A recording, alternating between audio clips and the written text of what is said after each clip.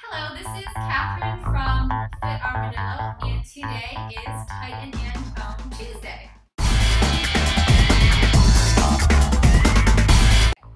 And this Tuesday, we are going to focus on our ankles.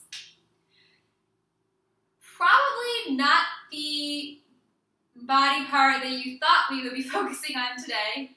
Usually we don't think about working on our ankles, but thinking about it today because I injured my ankle last week. I have an ankle sprain. So I wanted to go over a few preventative exercises with you first so that you don't have to deal with an ankle injury yourself, and then also go over some ankle strengthening exercises for any of you who might be suffering an ankle injury and need to rehab that. So of course, if you do have an injury, always check with your doctor first because they're going to know the best advice to give you but you might want to check out these exercises as well. So first, if you want to avoid having an ankle injury, then you really need to work on your balance. So a few things you can do without any equipment is just standing on one foot. Try this with shoes first. That's the easiest. Then you can progress to no shoes. Stand on one foot first. Make it a little harder by closing your eyes.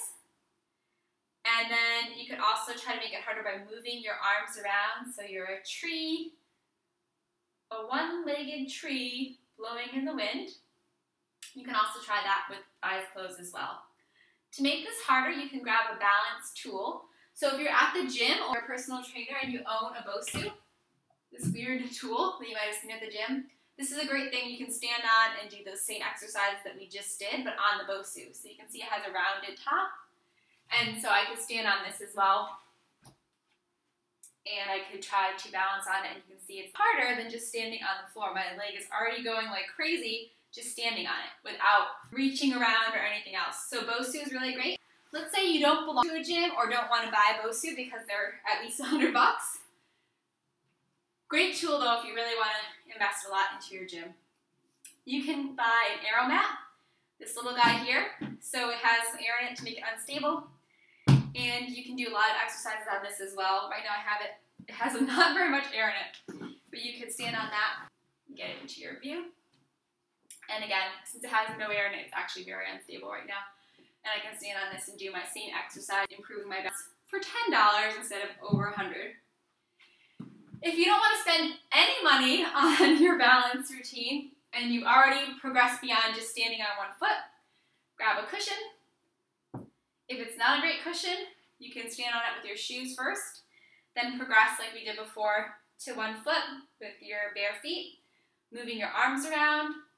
From there, eyes closed, eyes closed, moving your arms around.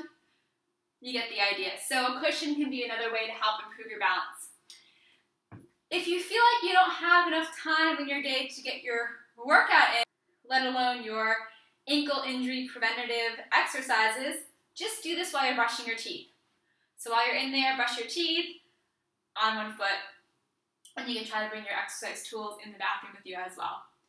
So I really, really recommend you work on your balance because it will prevent ankle injuries and also just keep your balance up as we age. We can lose our balance and fall and injure other body parts as well. So balance is really important just in general. So for those of you who don't have an ankle injury, you're more than welcome to head off on your way and practice your balance. And I'll go over a few exercises and some treatment of ankle sprains for the rest of you that are interested. So if you get an ankle injury, the very first thing you want to do is talk to your doctor. As you're waiting to get in touch with your doctor, you also want to keep in mind four little tips that come from the acronym RICE. RICE stands for R, rest, so not being ankle, resting it. I is for ice. So when you're resting your ankle, you're also going to add some ice to that area to help reduce swelling. C is for compression. If you've ever seen someone with an ankle injury, usually they'll have an ACE bandage wrapped around there, so that's going to be how you're going to compress that area and again reduce swelling. And then E is elevation.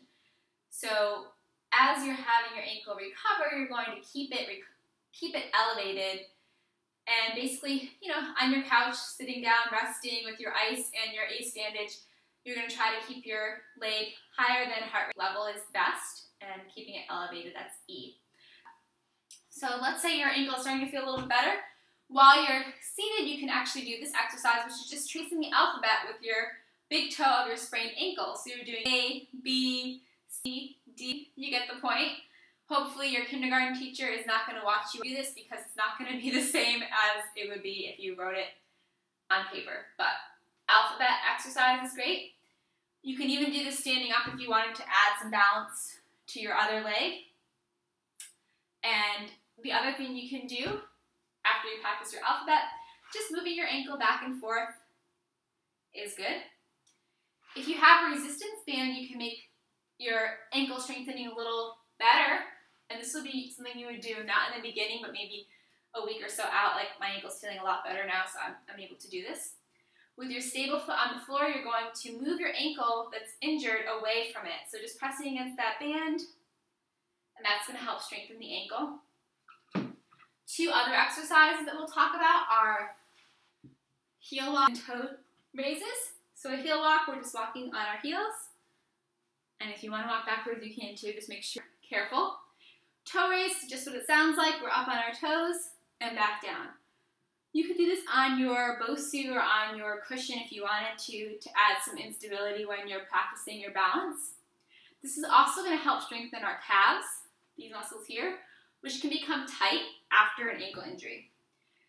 Speaking of back muscles, we also want to stretch them because, like I said, they can become pretty tight after an ankle injury. So two good stretches for calves. Up against the wall, have your hands up here. Have your leg you want to stretch behind you, nice and straight, and then lean into the wall. That back calf muscle will get a good stretch. Another good stretch is putting your calf that you want to stretch on the wall at a little angle with my foot, leaning into the wall to get my stretch there.